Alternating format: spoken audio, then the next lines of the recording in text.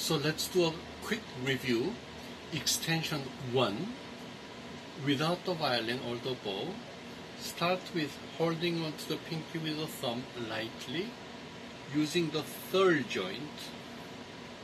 Stretch back as far as you can.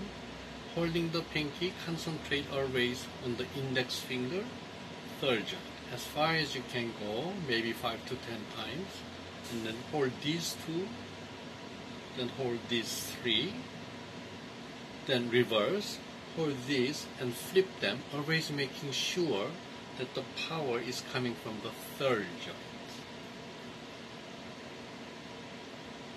The most important part of the extension 1 will be the stretch between pinky and the thumb.